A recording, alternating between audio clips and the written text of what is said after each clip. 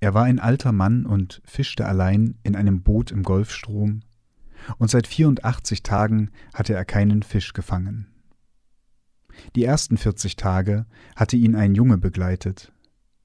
Aber nach 40 Tagen ohne einen einzigen Fisch hatten die Eltern des Jungen gesagt, der alte Mann sei jetzt endgültig und eindeutig Salau, was die schlimmste Form von glücklos ist, und der Junge war auf ihr Geheiß mit einem anderen Boot gefahren, das in der ersten Woche drei gute Fische fing. Es machte den Jungen traurig, wenn er sah, wie der alte Mann täglich mit seinem leeren Boot hereinkam, und er ging immer hin und half ihm, die aufgeschossenen Leinen und den Handhaken, die Harpune und das um den Mast gewickelte Segel an Land zu tragen. Das Segel war mit Mehlsäcken geflickt und eingerollt sah es wie die Flagge einer unabänderlichen Niederlage aus. Der alte Mann war dünn und hager und hatte tiefe Furchen im Nacken. Die braunen Flecken auf seinen Wangen waren gutartiger Hautkrebs, den die vom Tropenmeer reflektierte Sonne macht. Die Flecken bedeckten beide Seiten seines Gesichts, und an seinen Händen hatte das Hantieren mit schweren Fischen an der Leine tiefe Spuren hinterlassen. Aber keine dieser Narben war frisch. Sie waren so alt wie Erosionen in einer fischlosen Wüste. Alles an ihm war alt, nur die Augen nicht. Und die hatten dieselbe Farbe wie das Meer und waren heiter und unbesiegt. Das war die erste Seite aus der Erzählung Der alte Mann und das Meer von Ernest Hemingway. Dieses Buch ist heute das Thema bei Blaubart und Ginster. Und gelesen hat diese erste Seite Weltliteratur der Herr der fliegenden Mantarochen, Mario Osterland. Ja, vielen Dank. Wie immer warme einleitende Worte vom Harpunenschmied, Captain Ralf Schönfelder. Hallo. Ei, ei. Ja, es geht um Ernest Hemingway, der Hey. alte Mann und das Meer. Wir Ganz wollten, glaube ich, schon länger mal eine Sendung über Hemingway machen oder beziehungsweise hatten, haben wir den Namen schon länger auf der Liste. Ne? Ja, Und dann haben wir uns überlegt, welches Buch wir eigentlich von Hemingway nehmen. Denn Der alte Mann und das Meer, vielleicht das bekannteste Werk, heute wahrscheinlich das bekannteste, ja. vielleicht nicht das beste, sagen zumindest die Kritiker. Einige, manche. Und ja. dann gibt es ja immer noch so den, das hat ja mit dem Pariser Hemingway nichts zu tun. Das ist so der, der mir dann immer noch vorschwebte, der Fiesta, The Sun Also Rises Genau. Hemingway, der Paris ein Fest fürs Leben Hemingway. Ja, in einem anderen Land und äh, genau. Das sind so der frühe Hemingway, Mhm. das ist so der experimentelle oder der, ähm, oder sagen wir mal vielleicht lieber expressive Hemingway. Mhm. Er hat natürlich auch einige sehr erfolgreiche Bücher geschrieben, die heute kaum noch, glaube ich, gelesen werden, wie zum Beispiel Wem die Stunde schlägt, Ja. was ein riesiger Erfolg für ihn war. Auch ein großartiger Titel, ne? For Whom the Bell Tolls. Mario, die Titel von Ja. Hemingway sind sowieso großartig. Da haben wir damals in unserer Handgesendung auch drüber geredet. Hm, stimmt, es ist ja. eine große Kunst, gute Titel zu haben. Wem die Stunde schlägt, der Sieger geht leer aus, Tod am Nachmittag. Selbst äh, ein Buch, das total verrissen wurde von Hemingway, über den Fluss und in die Wälder. Ja, Was für ja. ein schöner Titel. Ja, Und welches ist A Farewell to Arms im, im Original? Das ist, glaube ich, das weiß ich gerade nicht. nicht. Das ist in Nee, einem, nee. In, in, einem- in einem anderen Land. Ist Ja. das. Genau.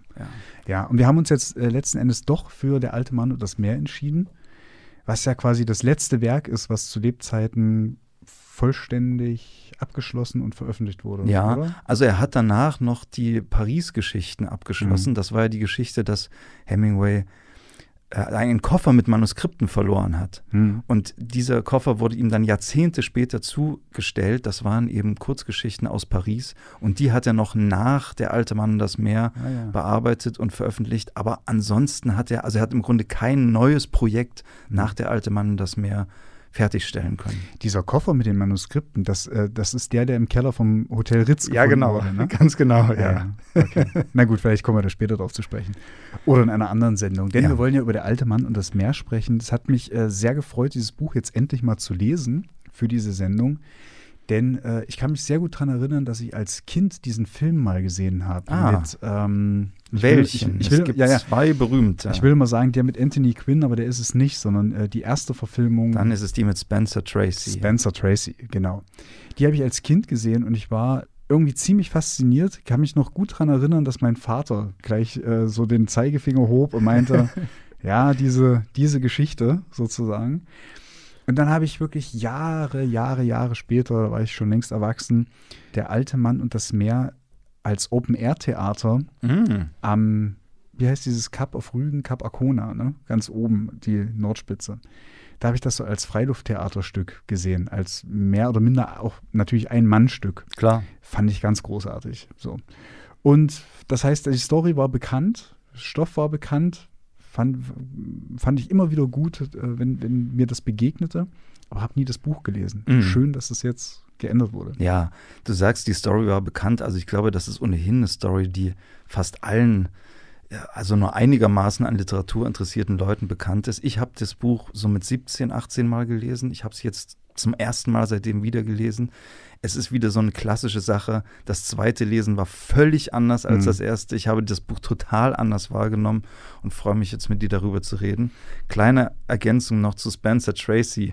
Hemingway hat ja an dem Film mitgewirkt. Mhm. Er war, glaube ich, auch Produzent. Er fand den Film scheiße. Und er hat über Spencer Tracy gesagt, Spencer Tracy sieht aus wie ein dicker, steinreicher Schauspieler, der einen Fischer spielt. das finde ich sehr schön. Das könnte man auch sagen über Hemingway, wenn man dieses berühmte Porträtfoto im Rollkragenpullover Oh ja, sich anschaut. das, Aber das stimmt naja. wohl, ja. Mario, hören wir erst noch ein Lied, bevor wir richtig ins Das Buch machen einsteigen. wir. Und zwar fangen wir heute an mit Long Nights im Original von Eddie Vedder. Ich habe eine sehr schöne Coverversion gefunden von Luc Donnier.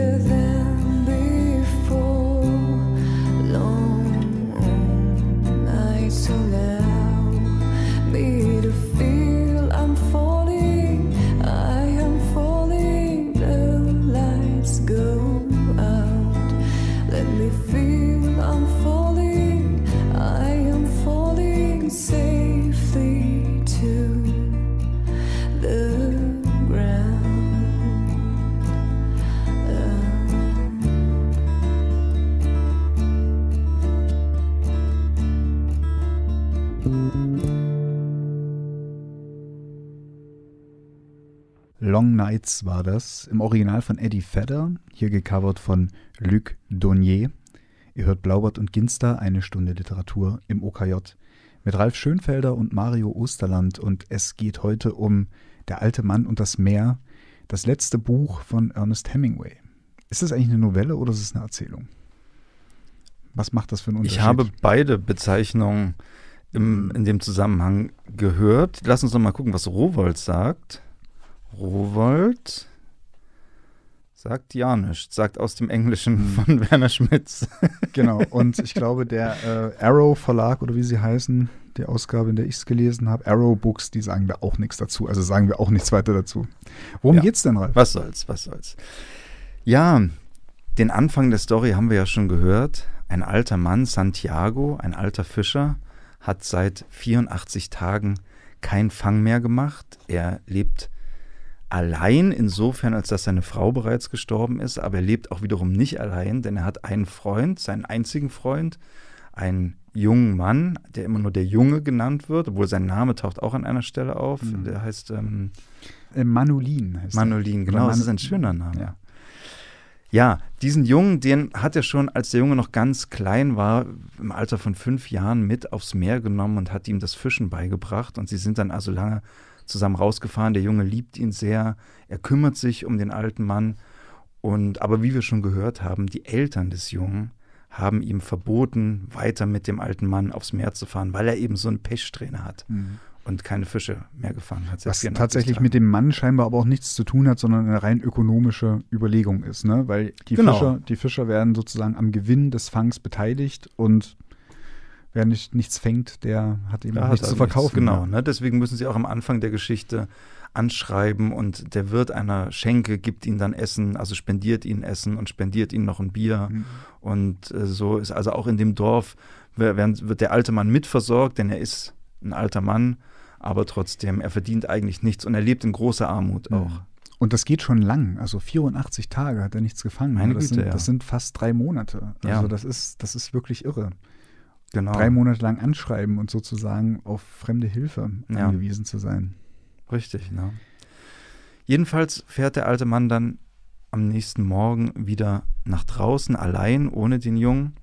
Er fährt aufs Meer und er glaubt ganz fest, dass da draußen ein großer Fisch auf ihn wartet. Und er fährt immer weiter nach draußen. Zu weit, wie er später immer wieder sagen wird. Das ist eines der großen Motive Mhm. des Buches. Ich bin zu weit hinausgefahren. Er folgt dann erst einem Vogel und einem Schwarm fliegender Fische. Er macht dann einen ersten kleinen Fang, einen Thunfisch, und dann beißt ein großer Fisch an. Endlich. endlich, Es gibt endlich. es schon einen richtig kathartischen, also fast einen kathartischen Moment, allein nur des Anbeißens wegen. Ne? Denn noch kann der alte Mann ja nicht wissen, was angebissen hat. Genau. Er ist sich relativ schnell sicher. Er ist ja auf äh, Schwertfisch gegangen, auf blauen Marlin. Mhm. ist er gegangen, hat dementsprechend die Köder auch sehr akribisch ausgelegt. Es wird auch sehr schön beschrieben im Buch, dass er immer äh, äh, aufpasst, dass die, die Köder die Höhe, die richtige Fangtiefe ja, auch verschiedene. halten. So, ne? äh, ne? Er hat, glaube ich, drei oder vier Angeln ausgeworfen. Und, Genau. Äh, ja. Und noch kann er es nicht wissen, aber es hat etwas angebissen und es ist groß und es Genau. ist in der Tiefe. Und er ahnt schon, was es ist. Und es ist so groß, dass also der Fisch, er hat so, ist so groß und hat so eine Kraft, dass er beginnt, das Boot mit sich zu ziehen. Genau. Also er, ne? also gut, der Fischer ist auch wirklich nur auf einem kleinen Boot unterwegs. Man darf sich Ja, das ist nicht schon so eine Jolle, ne? Also, Ja, ne? Äh, aber der Fisch ist so kräftig, dass er also das Boot mit sich ziehen kann. Genau, das hätte ich sonst auch gleich noch ergänzt, dass der Fisch sofort anfängt zu ziehen und der Fischer sich denkt, der alte Mann, ja gut, dann power dich erstmal aus. Ne? Genau, denn das ist es, was jetzt passiert. Also der alte Mann schlingt die Leine um seinen Rücken, hält sie fest, erst mit der linken Hand und äh, lässt also den Fisch das Boot ziehen, damit er müde wird. Genau. Ja? Äh, und das dauert aber. Ja, man ist halt da schon mittendrin, ne? Also Genau. mit dem Anbeißen schon. Es gibt nur einen ganz kurzen Moment der Freude, denn dann beginnt eigentlich das, was das ganze Buch über anhält, nämlich der Kampf Genau, mit dem Fisch. der Kampf mit dem Fisch. Und, und er dauert mehrere Tage. Mhm. Also der alte Mann, er beginnt dann auch sehr schnell sich zu wünschen, dass der Junge dabei wäre. Mhm. Das wünscht er sich immer wieder. Aber er muss also, äh, er muss durchhalten. Er kämpft dann also auch mit seinem, mit Krämpfen in der Hand Mhm. und die Schmerzen werden immer größer. Er muss dann auch im Laufe der Zeit, er, er fängt dann zwischendurch noch eine Goldmakrele und er muss den Thunfisch, den er gefangen hat, und die Goldmakrele roh verspeisen, Ja. um bei Kräften zu bleiben. ne? Und Weil zwar auch in einem bestimmten Zeitfenster, weil es äh, ausgenommen sehr schnell verrottet auch. Ne? Richtig, ne? Und er rechnet das auch alles genau aus. Ja. Ich muss dann und dann den Thunfisch essen. Und Genau. so. Und um sich das einfach nochmal klar zu machen, wie, wie hart das tatsächlich ist. Der Mann ist alleine in so einer Art Nussschale im Golf, im, im Golf von Mexiko. Ja. Und er fischt jetzt nicht mit ähm, Hochsee-Angel-Equipment Oh oder sowas. Also er hat keine Route oder so etwas oder dass er das irgendwie äh, feststellen könnte oder so. Nein, er hat das an Fang, eine Fangleine um den Körper und in den bloßen Händen. Genau. Das wird noch sehr wichtig werden, denn so ein Marlin, ich weiß nicht, ob man das schon mal gesehen hat, die werden ja locker so fünf Meter lang oder sowas. Die haben Kraft wie Sau, ne? Ja, also fünf Meter sind schon die ganz großen, glaube ich. Ich weiß gar nicht. Also äh, Bis ich glaube so fünf Meter habe ich glaub ich, drei, vier ist, glaube ich, ja. so, so, ein, so ein Durchschnitt. Es gibt übrigens, wenn man mal Marlin googelt und auf die Google-Bildersuche schaut, gibt es auch wirklich Bilder, wie Marlin Fische Boote so Mhm. zum, zum Neigen bringen, Ja. also mit sich ziehen und die Boote sich schon also fast zum Kentern neigen ins Wasser. Aber also auch so- sind wirklich stark. Ja, aber auch so diese berühmten Fotos einfach, wie dann so stolze Fischer, meistens Schwarz-Weiß-Fotos, Ja. wie die dann ähm, am, am Hafen stehen mit den aufgehangenen Fischen. Oh ja. Also das, das ist einfach das Verhältnis. Gigantisch. Finde ich auch immer krass, wenn ich so in südlichen Ländern im, im Urlaub bin und in so Fischmärkte gehe. Ich gehe da wahnsinnig gern rein, Mhm. kaufe da natürlich selten was, weil wie soll ich einen frischen Fisch im Urlaub zubereiten? Klar. Aber einfach auch um zu sehen, was, was man alles aus dem Meer herausholen kann an Schätzen. Das ist schon beeindruckend. Und von daher ist natürlich der, der blaue Marlin, das ist ja irgendwie auch so das Peak Ass bis heute, so für Sportfischer. Ne? Eine ganz beliebte Trophäe, glaube ich, diesen, diesen speziellen Fisch eben zu fangen. Ja. Und während jetzt also der alte Mann seine Zeit abwartet und äh, den Marlin, mit dem Marlin kämpft, passiert was, das ich ganz schön an dem Buch finde. Das ist fast so mein Lieblingsaspekt daran. Er fängt nämlich an, um nicht verrückt zu werden, mit der Umwelt zu sprechen. Also er fängt an, mit dem Meer zu sprechen. Es setzt sich dann mal so ein Vogel auf die Leine, mit dem spricht er dann. Und vor allem spricht er die ganze Zeit immer wieder mit dem Fisch. Mhm. Er richtet sich an den Fisch. Er fragt ihn, wie es ihm geht.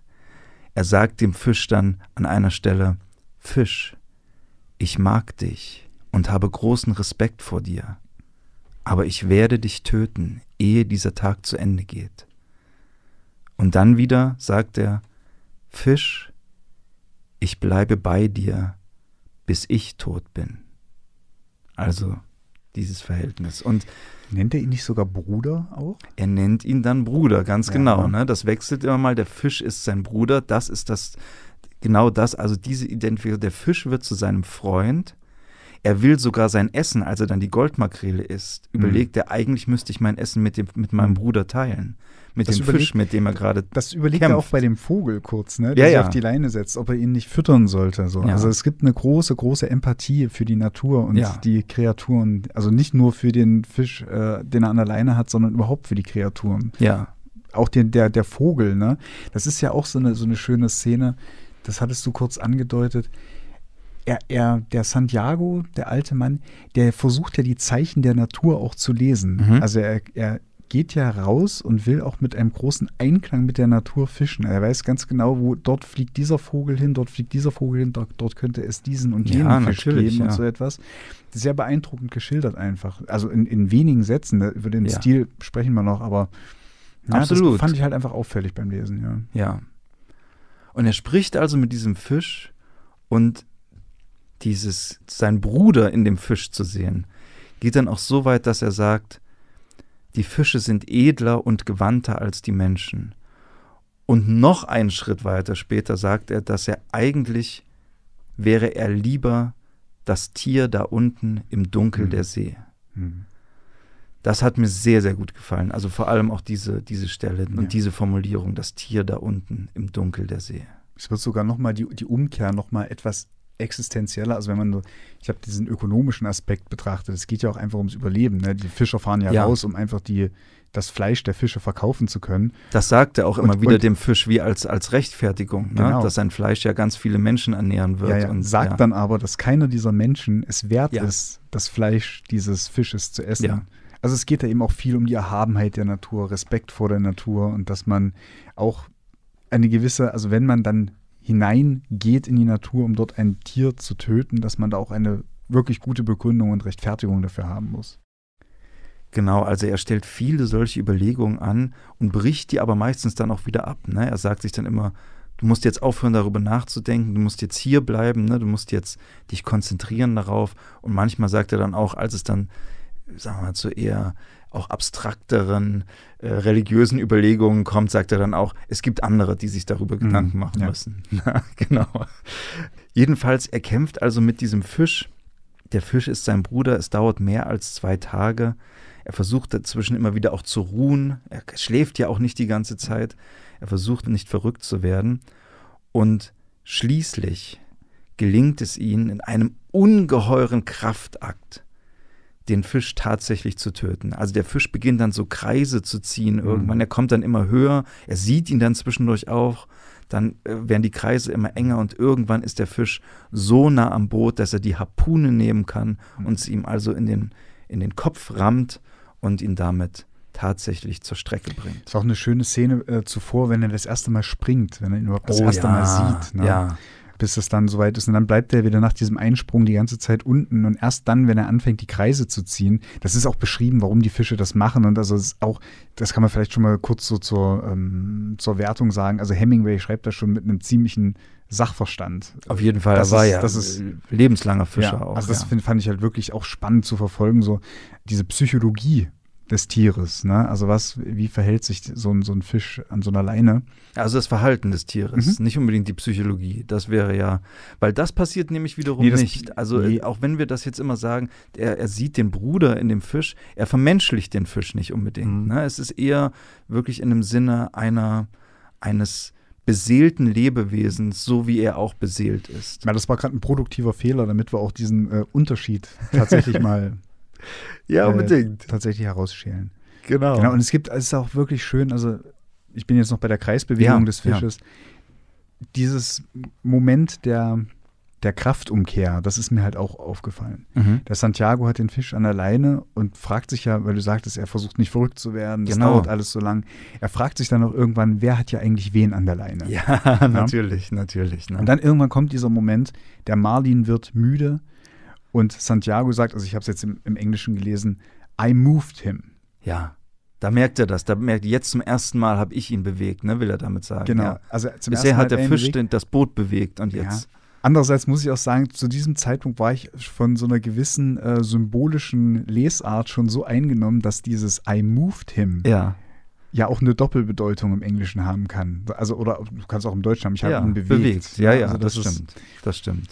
Also er hat den Fisch jetzt endlich getötet und er sieht jetzt auch erst so richtig, wie lang der Mhm. Fisch ist. Der Fisch ist nämlich länger als das Boot, Ja. in dem er fährt. Und das ist ein Riesenproblem. Das ist ein Problem. Er kann den Fisch unmöglich in das Boot hineinhieven. Das geht nicht. Das heißt, er hat gar keine andere Wahl, als den Fisch an Bug und Heck seines Boots zu verteuen. Und dann setzt er die Segel. Er ist inzwischen schon so weit draußen übrigens, dass er das Ufer hatte schon längst aus den Augen verloren. Er kann sich aber noch orientieren. Er orientiert sich an den Lichtern von Havanna dann nachts und er setzt die Segel und segelt zurück nach Hause. Und dann passiert das, was er schon fürchtet. Es gibt schon vorher eine Andeutung im Buch, dass das passieren Und zwar konnte. sehr, sehr früh ja, gibt es diese Andeutung im Buch. das Blut des Fischs fließt natürlich ins Meer und das Blut lockt Haie an. Genau. Das ist erstmal, denkt man sich, also erstmal denkt man sich, okay, das ist die ultimative Katastrophe. Ja. Dann aber Ja, regt sich eigentlich Hoffnung, auch im Leser. Genau, Denn es denn- kommt ja. erstmal ein einzelner Hai, ein Mhm. Marco-Hai. ja. Ziemlich groß, ziemlich gefährlich, aber durchaus mh, zu handeln, sage Mhm. ich mal, für Santiago. Der ist ja auch ein erfahrener Fischer. ja, Er wehrt ihn mit der Harpune schlichtweg ab. genau. Ja, er ja. hat die Harpune und tötet den Hai und wehrt ihn ab. Auch eine ziemlich martialische Sache, aber mich hat es doch fasziniert. Ja. Also der Hai kommt und er stößt ihm die Harpune in den Kopf. Genau, also der Hai kommt, er beißt schon einmal Mhm. in den Mal hinein, reißt ein großes Stück raus, aber in dem Moment ist er nah genug, dass der alte Mann ihm also die Harpune ja. in den Kopf rammen kann. Und das macht er noch ein paar Mal, ne? Es kommen Ja. dann äh, mehrere Haie, ja, dann- aber dann, Mario, geht es schon los. Bei den nächsten beiden. denn die Harpune geht auch kaputt bei dem ersten nee, oder? bei den nächsten beiden Ach so, ja, genau. wirft er wieder den ersten Wert ab, den Mhm. zweiten trifft er mit der Harpune, aber die Harpune bleibt stecken, Hm. sodass die Harpune weg ist. Ja. Und dann hat er noch ein Messer. Und dann kommen die nächsten Haie. Das und dann auch abbricht dann. Und dann kämpft er gegen die und am Ende bricht es an einem Hai ab. Also er tötet auch diese Haie, aber jetzt ist das Messer auch schon weg. Hm. Und am Ende hat er im Grunde nur noch seine Ruder, ne, Ja. mit denen er dann gegen die Haie kämpft und auf sie ein. Und sein Knüppel, er hat einen Knüppel dabei, damit drischt er auch auf die Haie an. Irgendwann ist der Knüppel auch weg. Ja, man darf nicht vergessen, dass er zu dem Zeitpunkt schon zwei Tage und zwei Nächte mit dem Marlin gekämpft hat Ja. und den an der Leine hatte. Er ist und völlig er entkräftet. hatte kaum was, äh, kaum was zu essen und äh, er hat, glaube ich, auch nur eine Flasche Wasser oder so dabei. Nur eine ne? Flasche Wasser, ja, Das die er ist- sich einteilt für die Zeit. Also genau, das ist ja. ein unfassbarer Kraftakt und das, Ja. das kann natürlich nicht gut ausgehen. Nein, das kann nicht gut ausgehen. Irgendwann, die Haie äh, sind, sind zu viele.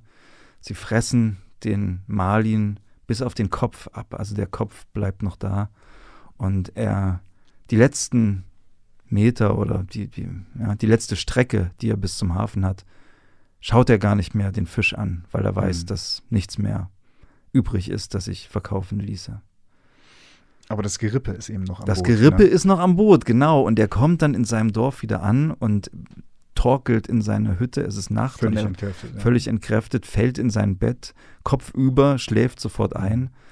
Und irgendwann am, im Laufe des nächsten Tages kommt dann sein Freund, der Junge, zu Mhm. ihm, hat gesehen, hat das Skelett am Boot gesehen und weiß, was passiert Mhm. ist. Und eigentlich weint er dann den ganzen Weg zur Hütte und von der Hütte weg, weil ihm klar ist, was passiert ist. Und Eigentlich ist es dem ganzen Dorf schon klar. Ja. Er ist, glaube ich, gar nicht der Erste, der Junge, der es, der es Kann entdeckt. sein, oder? Ich ja. weiß es nicht mehr so ganz genau. Sogar Touristen haben sich drum, ver, äh, Ja. drum versammelt, die gar nicht wirklich wissen, was es für ein Skelett Ja, ist, die ja. es für ein Hai halten und so. Also auch da ist nicht ganz unwesentlich, denn die Einheimischen, die können, die Einheimischen, die auch den Santiago kennen und selber Fischer sind, die können die Zeichen sofort lesen. Die können das Fischgerippe als Zeichen sofort lesen. Die Touristen, die wissen das nicht. ne? Ja, und das ist natürlich auch so eine kleine Anspielung von. Hemingway, dass in der Zeit die Amerikaner ja in Kuba Hm. so eine, so eine Tourismusmeile daraus gemacht haben Ja. und auch Kuba ziemlich ausgebeutet haben. Das ist aber ganz kurz nur, aber es ist Hm. drin, es ist drin, genau. Fand ich aber auffällig. Ja, ne? fand ich auch äh, Mhm. sehr interessant, ja. Und der Junge kümmert sich also jetzt um den alten Mann und er bereut es eben sehr, dass er nicht mit ihm rausgefahren ist. Und er nimmt quasi dem alten Mann das oder gibt dem alten Mann das Versprechen, dass er ab jetzt wieder zusammen mit ihm aufs Meer fahren wird. Und damit endet Ende. eigentlich die Novelle. Toll. Ganz ne? genau. Tolle Story. Eine wunderschöne Story, Mario. Ich würde gern gleich ein bisschen mit dir darüber sprechen. Das tun wir.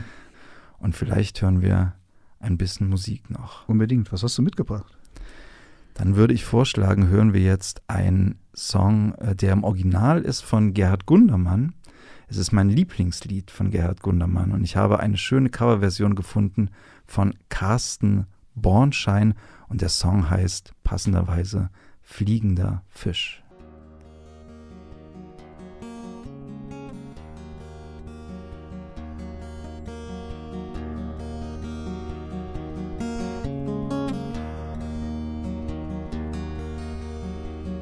Wasser sieht von oben wie ein Spiegel aus. Du siehst da rein und siehst nur dein Gesicht. Ich komme jetzt für drei Sekunden zu dir raus. Nur bei dir bleiben kann ich nicht. Halt mich nicht, ich bin nur ein fliegender Fisch. Tauch ich vor dir auf, zieh mich nicht zu dir rauf.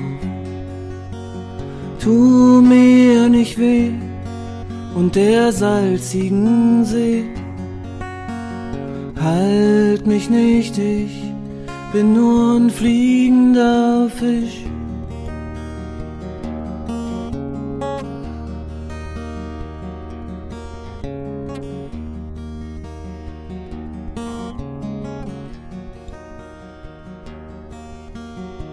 Wie soll ich leben an der dünnen Luft, ihr verbraucht für euer Marktgeschrei?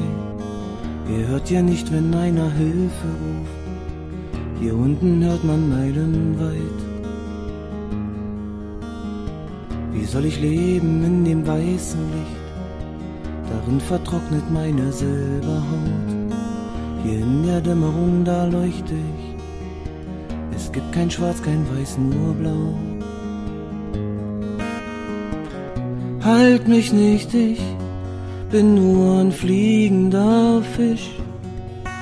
Tauch ich vor dir auf, zieh mich nicht zu dir rauf. Tu mir nicht weh und der salzigen See. Halt mich nicht, ich bin nur ein fliegender Fisch.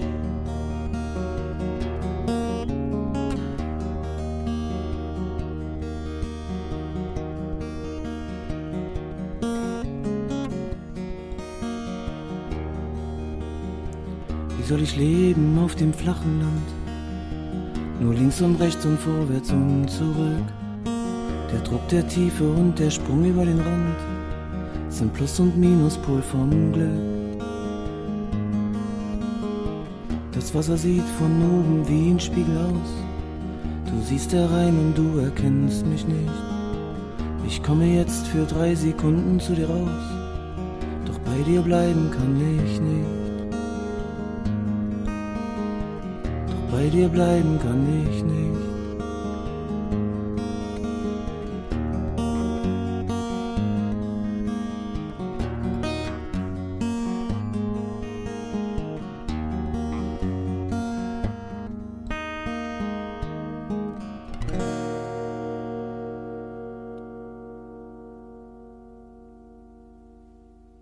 Das war Fliegender Fisch von Carsten Bornschein, im Original von Gerhard Gundermann und ihr hört Blaubart und Ginster mit Mario Osterland und Ralf Schönfelder. Es geht heute um Der alte Mann und das Meer von Ernest Hemingway. Mario, du hast das Buch jetzt zum ersten Mal gelesen. Wie waren denn so deine Leseeindrücke? Ich bin sehr schnell auf einer gewissen Schiene hängen geblieben Ja. oder habe mich auf eine Lesart nicht eingeschossen oder konzentriert. Die hat sich so für mich ergeben. Und das ist die Lesart, dass der alte Mann und das Meer im Grunde eine große religiöse Parabel ist. Das finde ich sehr interessant, denn ich will dir nur kurz einhaken. Du kannst gleich weiter da machen. Ich habe ja am Anfang gesagt, ich habe das Buch mit 17, 18 gelesen. Dieser, diese Dimension ist mir damals komplett verschlossen geblieben. Ich Mhm. habe das also überhaupt nicht in Erinnerung gehabt. Als wir das Buch ausgewählt haben, hätte ich das nicht damit gerechnet. Und das war für mich jetzt beim Wiederlesen auch die hervorstechende Dimension. Ne? Und ich dachte, wir kommen diesmal in der Sendung ganz ohne äh, Gespräch über Spiritualität und äh, Kunst aus. Und aber nein, nein. Wenn es soweit Ähm. ist, werde ich diese Sendung verlassen. Okay. Nein, es ist ja wirklich so, dieses Buch ist seit Jahrzehnten Schulstoff, vor allen Dingen an Englisch, englischen Schulen in englischsprachigen Ländern, weil diese Geschichte eben so symbolisch aufgeladen Mhm. und gut interpretierbar ist. Zumindest meine Theorie. Ja. Und nun ist es ja so, dass gerade auch Hemingway gesagt hat, so ist es ja gar nicht gemeint und so ist es ja nicht so symbolisch ausdeutbar. Da kann er sich drehen und winden, wie man will. Es gibt große gesellschaftskritische Aspekte in diesem Buch. Es gibt große zivilisationskritische Aspekte in diesem Buch und es gibt eben auch ganz große religiöse Aspekte in diesem Buch, die wie so ein verflochtenes Gitter einfach diesen doppelten Boden der Story tragen. Ja. Und an diesem doppelten Boden haben für mich so die Nägel der Religion eben rausgestochen, Ja. in denen ich hängen geblieben bin. Und es geht auch einfach schon mal los mit den, mit den Namen der beiden Protagonisten, Mhm. mit Santiago und dem, ich will mal Manuel sagen, aber es ist Manolin. Aber Manuel deswegen, das ist eine Verniedlichungsform quasi von Manuel. Und dieser Name bedeutet im Hebräischen, Gott ist mit uns. Und, Ah. und Santiago ist natürlich der heilige Jakob. Das ist, äh, kann man sich einfach Ja. herdeuten. Aber auch das ist interessant, denn Jakob, auch aus dem Hebräischen, äh, Gott hat ihn beschützt. Oder G- Gott schützt Ah, Sehr ihn. schön, sehr schön, ja. Ja, ja, natürlich. Die Namen sind natürlich wie immer bei großer Literatur nicht zufällig eben, gewählt. Na ne? eben. Und das, Ja. das äh, glaube ich nicht. Ich meine, er hat ja nun auch unter anderem für dieses Buch den Nobelpreis bekommen. Da, Den Pulitzerpreis ist- den auch. Pulitzerpreis auch. Ein Jahr. Mhm. Kann man sich drüber streiten, aber ich meine, Talent hat er schon gehabt, der Mann. Also er wird schon gewusst haben, äh, wovon er da schreibt. Und bei so Namen, da bleibe ich schon immer das erste Mal hängen. Und Auf das jeden war, Fall, war, ja. war so der, ein, der Eingang sozusagen zur, zur religiösen Lesart. Und dann ist es halt auch so, dass spätestens, also überhaupt der, der ganze Grundkonflikt hat ja was Alttestamentarisches und was Biblisches. Ne? Ein Mensch setzt sich der Wildnis aus und kämpft gegen Urgewalten oder Naturgewalten, um das jetzt mal ganz plakativ runterzubrechen. Und dann irgendwann schrillen für diese Lesart alle Alarmglocken, wenn Santiago im Boot sitzt und sagt, ich bin ja eigentlich nicht religiös. Aber wenn ich das hier durchstehe, Er weißt du was übrigens, er sagt nicht, und das fand ich ganz schön, er sagt nicht, ich bin nicht religiös.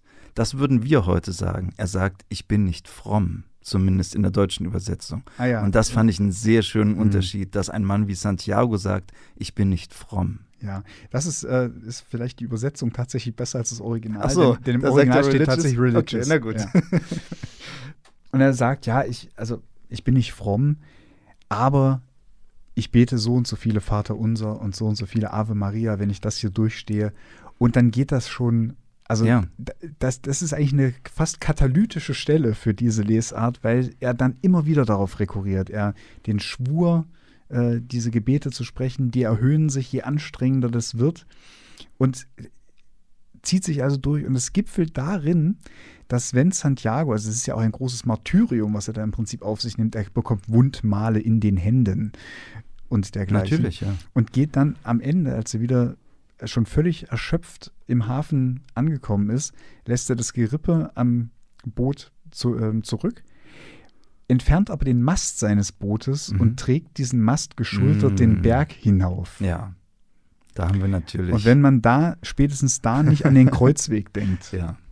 Dann hat man irgendwie was an abendländischer Bildung einfach nicht mitbekommen, meiner Ansicht nach. Ja, es ist ein harter Satz jetzt gewesen, aber Nee, nee, naja, dann wird sicher. das, wird das einfach so offensichtlich. Ne?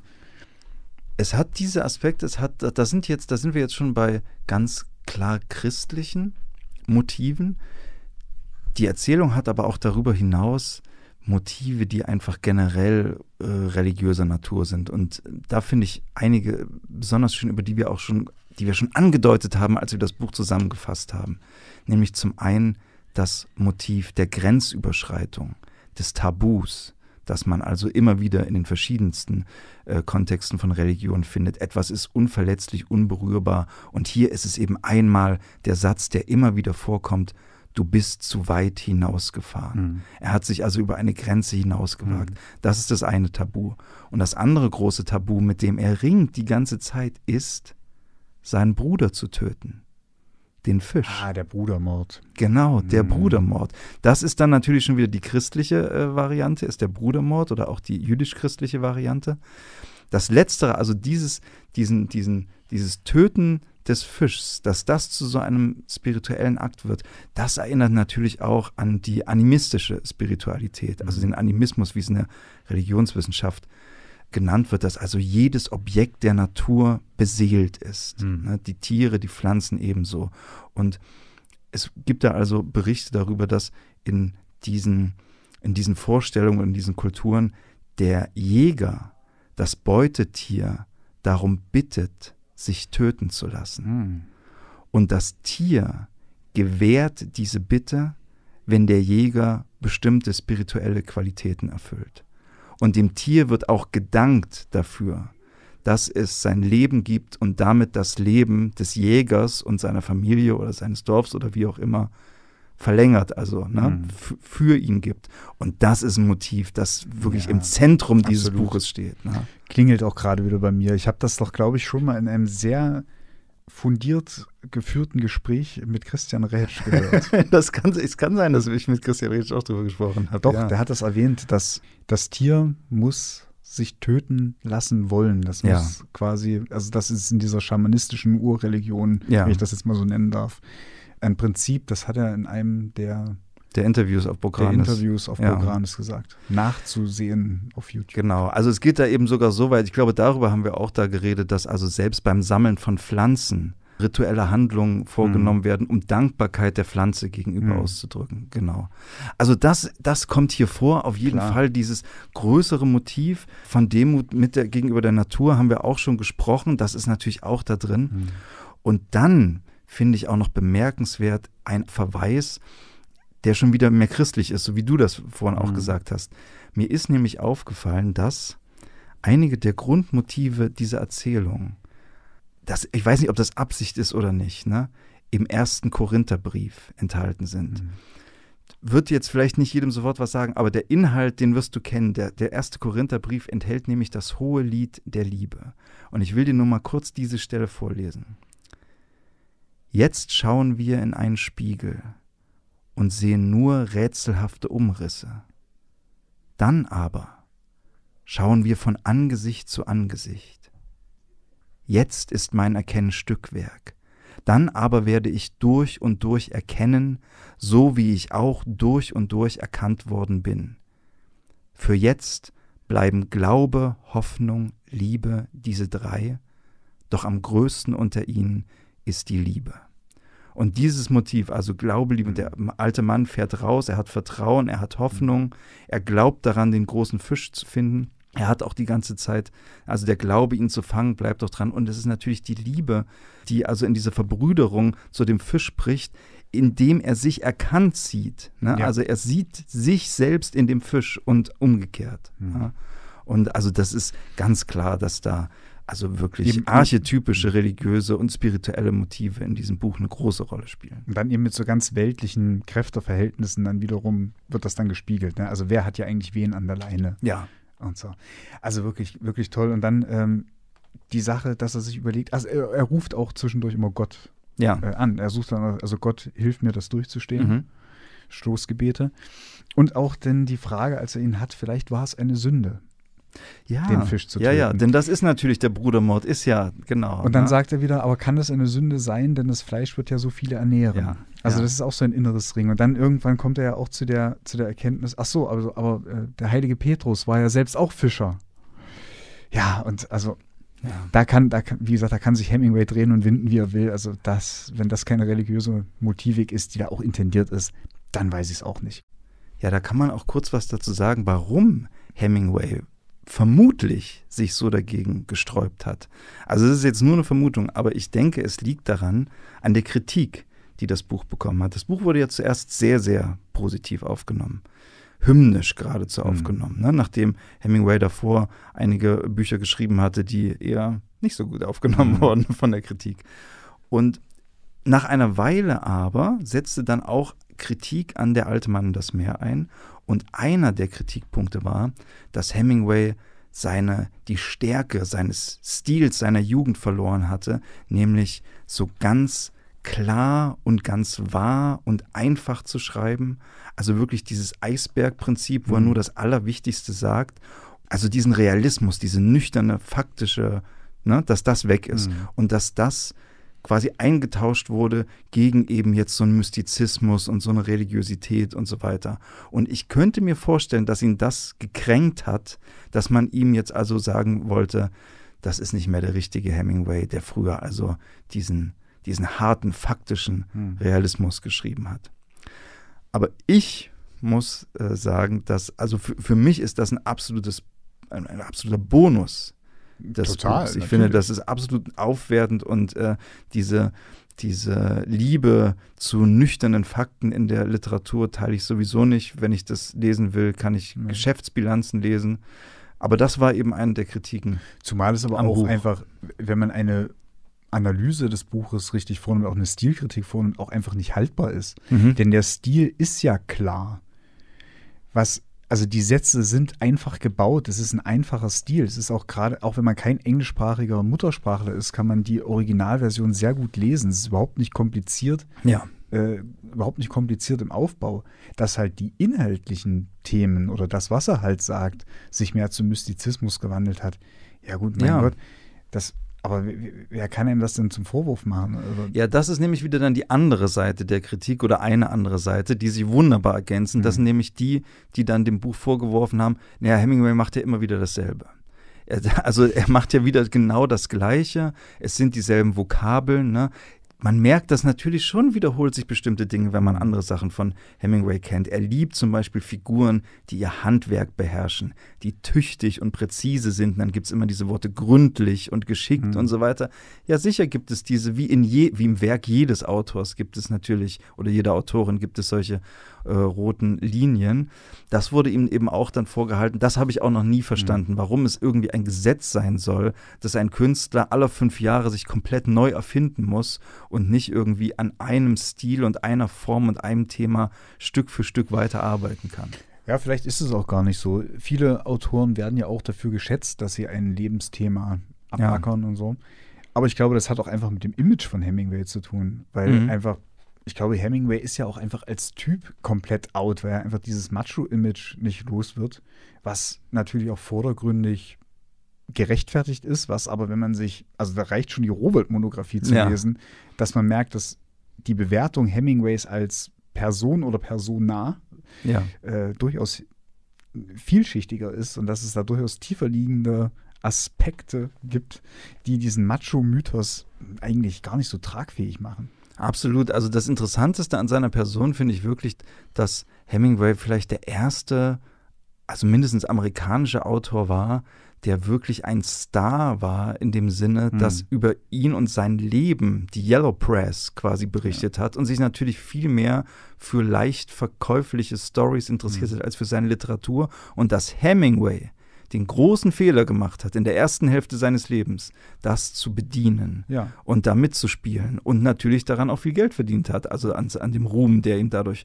Genau. zugewachsen ist und das hat ihn schlimm eingeholt in der zweiten Hälfte. Und wie du schon sagst, man muss sich wirklich nur oberflächlich mit der Biografie beschäftigen, um zu sehen, sicher, dass Hemingway auch viele natürlich tatsächlich äh, unsympathische Eigenschaften äh, hatte, keine Frage, aber dass er unter dieser Last dieses Männlichkeitsmythos unheimlich gelitten Mhm. hat und äh, am Ende seines Lebens das, glaube ich, gern Ja. losgeworden Das wäre. macht wieder. ihn für mich eher wirklich auch zur tragischen Figur. Total statt irgendwie so zu, Figur, zu ja. dieser Macho-Figur, die er ist.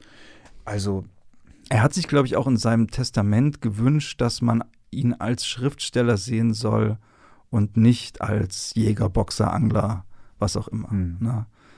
Es ist wirklich interessant, dass ähm, das Werk von Hemingway schon zu seinen Lebzeiten ne, ging die Kritik oder die, die Aufnahme immer auf und ab. Das ist Mhm. wirklich interessant. In den 20er Jahren, die Sachen, die in Paris geschrieben wurden, total gefeiert. Ne? Gefeiert. Fie- Fiesta Ja. ne? war, glaube ich, ein Riesenerfolg. Also Ja. auch ähm, Tod am Nachmittag, das ist ja eigentlich ein Sachbuch ne? über den Stierkampf. über den Stierkampf. das wurde aber auch sehr gut aufgenommen. Aber es regten sich die ersten Kritiken schon. Das ist dann nämlich schon die 30er Jahre und Ah, in den so. 30ern kommen dann so die grünen Hügel Afrikas, was so eine halbe Reportage ist, halb welches Buch, Roman. welches Buch habe ich da jetzt vergessen zwischendurch? Ähm, Achso, in, äh, in einem neuen Land. Ne? In einem das, anderen Land. Äh, in einem anderen ja, Land, ja, genau. genau, genau. ne? Das ist A Farewell to Arms im Original. Ich komme immer so durcheinander, weil ich jetzt diesen. ja, es gibt auch noch äh, in unserer Zeit, das klingt auch Ja, so ähnlich, ne? das war auch noch davor. Ja, ne? genau. Und das waren aber Fiesta und in einem anderen Land. Das, waren die großen Hits Ja. so der, der, der jungen Phase. Ne? Und dann kam eben, wie gesagt, die grünen Hügel Afrikas haben und nicht haben. Und die wurden, da wurden die Kritiken immer verhalten und immer negativer. Ne? Und dann ist er ja, das ist ja sehr interessant, dann ist er ja äh, Korrespondent im Spanischen Bürgerkrieg geworden Mhm. und war plötzlich so politisch engagiert und traf den Zeitgeist wieder. Ja. Und dann kam der Roman äh, Wem die Stunde schlägt. Und das war ein gigantischer Erfolg wieder. Ne? Mhm. Das war dann in den 40er Jahren. Mhm. Also die 20er waren top, die 30er waren nicht so gut für ihn, die 40er war wieder oben. Und äh, genau, und dann ging es aber wieder bergab mit eben, was ich vorhin schon gesagt Mhm. habe, über den Fluss und in die Wälder. Und ja, also dieses, dieses Hin und Her ist sehr interessant und ich habe vor kurzem, das fand ich eigentlich ein bisschen traurig, ich habe eine, ein Radio-Feature gehört bei Bayern 2, die ich eigentlich sehr mag für ihre Radio-Feature, Der alte Mann und die Inspiration und da haben viele Leute, denen ich eigentlich ein sehr gutes Urteil zutraue, eigentlich sich auf den Konsens geeinigt, eigentlich zählt heute nur noch der junge Hemingway. Das war interessant, ne? Da war, da war interessant, alles, was sozusagen in der zweiten Lebenshälfte ist, wirkt hölzern, antiquiert, klischeehaft. Das sind alles schlecht, schwache Bücher. Und ich habe mir, also ich muss wirklich sagen, wenn, wenn der alte Mann und das Meer Hm. ein schwaches Buch ist, Hm. dann bitte würde ich mir wünschen, Hm. dass heute wieder ein paar so schwache Bücher geschrieben werden würden. Also Ja. tatsächlich. Ich meine, ich habe jetzt tatsächlich die anderen nicht gelesen. Also die Kurzgeschichten halt noch. Da haben wir noch gar nicht drüber gesprochen, weil er ist ja eigentlich Ja. ein Gigant der Kurzgeschichte. Genau, ne? Die habe ich zuvor in Buchform gelesen und Paris, ein Fest fürs Leben. Das sind Ja. tatsächlich die drei, die ich bisher gelesen habe von Hemingway. Und also Schnee auf dem Kilimanjaro, das, diese Sammlung, da ist nicht eine schlechte Story drin. Das Mhm. ist gigantisch, was er da abliefert. Und ähm, das kurze und glückliche Leben des Francis Genau. Macomber, das Ja, ist, glaube ja. ich, eine der besten Stories, die ich jemals gelesen habe. Also das ist wirklich, ich verrate nicht ein Wort über dieses absoluter Lesebefehl jetzt. Das ist wirklich eines der unglaublichsten Stories, die je, jemand, die je geschrieben wurden. Punkt. Also, ihr habt es gehört. Ja, Mario, wollen wir noch kurz was zur Publikations- und Entstehungsgeschichte sagen? Mhm. Ich habe hier nämlich ein, ein meiner Lieblingsbände im Zusammenhang mit Hemingway dabei, einen fetten Walzer von A.E. Hodgner, Papa Hemingway. Hodgner war einer der besten Freunde von Hemingway und hat eine sehr schöne Biografie über ihn geschrieben. Warum denn eigentlich Papa Hemingway? Ja, das war so eine Manie von Hemingway. Hemingway hat gern allen Leuten in seiner Umgebung Spitznamen gegeben. Hm. Seine Frauen hatten Spitznamen, seine Kinder, seine Freunde, jeder hatte irgendeinen Spitznamen. Und Hemingways Spitzname war Papa. Also alle, Ach so, alle haben- ihn Papa genannt. Sozusagen. Nicht nur seine Kinder, auch seine Freunde haben ihn Papa Hm. genannt. Naja, immer, immerhin besser als der Spitzname seines ersten Sohns. Ne? Wie war der Spitzname? Der Ba Bumpy. Ja. Kommen wir zurück zur Entstehungsgeschichte. Äh, genau, also Hotchner schreibt hier ein sehr schönes Buch. Es ist natürlich ein Buch eines Freundes.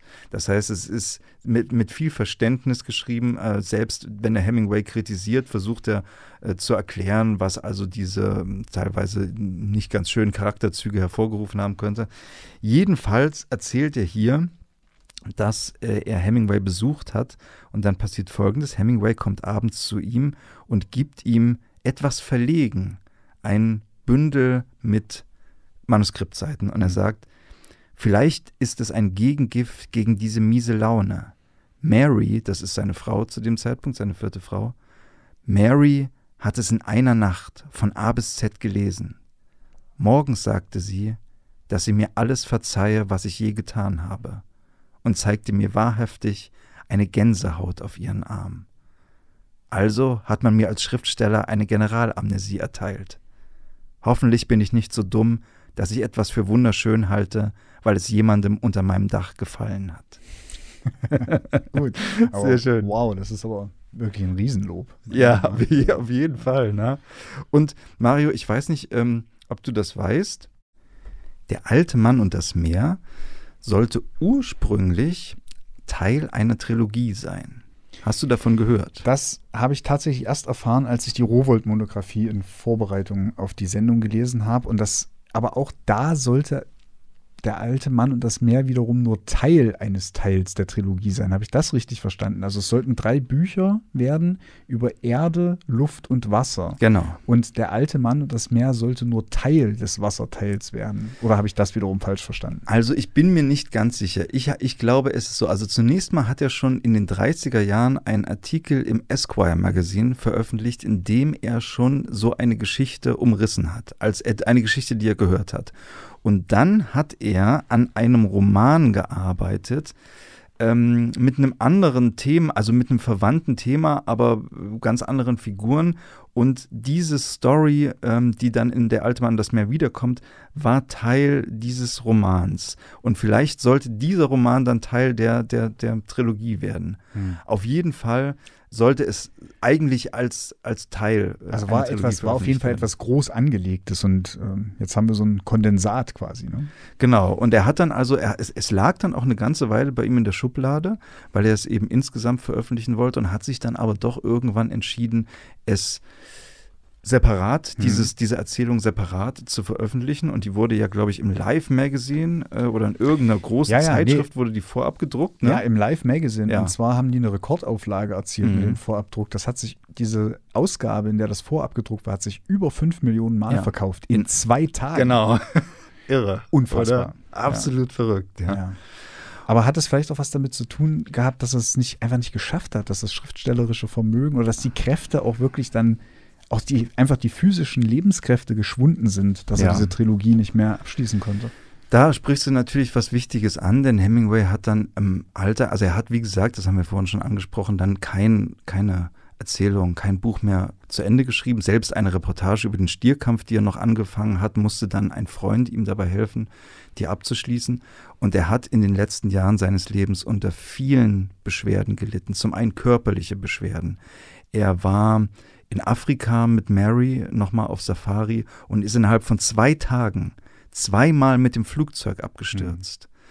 Äh, Er hatte ohnehin, also es wurde geschätzt später, dass Hemingway bis zu zehn Gehirnerschütterungen in seinem Leben mitmachen musste. Und was wir heute darüber wissen, über Gehirnerschütterungen, also gerade auch so viele oder überhaupt Schädel- und Hirntraumata, dass die eben auch zu einer Veränderung des Gemüts, der Stimmung führen können. Und tatsächlich hat Hemingway unter sehr schweren Depressionen Hm. gelitten.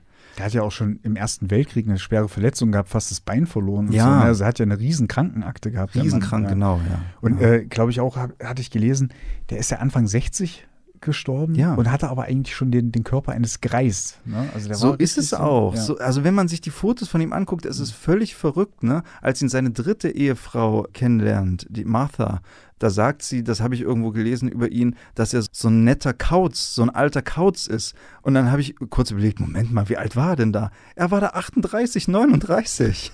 ja. Und sie beschreibt ihn als so einen kauzigen alten Kerl. Ne? Oh Gott. Also äh, Das sagt wirklich viel über den Eindruck, den er gemacht hat. Wirklich, ja. Also das, es ging dann wirklich immer weiter körperlich und psychisch bergab mit ihm. Er hatte dann auch Schlafstörungen, Angstzustände, er hatte sehr schlimme Paranoia. Er hat gefürchtet, dass irgendwelche Agenten hinter ihm her sind, dass, die, dass er irgendwie äh, steuerlich in den Ruin getrieben werden soll oder sonst was. Hatte auch mal an die 30 Katzen zwischendurch und so, auch solche Macken. Ne? In Kuba, genau. Er lebt ja dann in Kuba, hat dann mit ganz vielen Katzen im Haus gelebt. Und irgendwann wurde es auch so schlimm, dass er in die Mayo-Klinik eingewiesen wurde von seiner vierten Frau, von Mary, und wurde dort auch mit Elektroschocks behandelt. Darüber haben wir ja schon mal ein bisschen gesprochen in unserer Sendung über die Glasglocke, dass das also eine durchaus übliche Behandlungsmethode zu dem Zeitpunkt war. Und Und tatsächlich. nicht so schonend wie heute.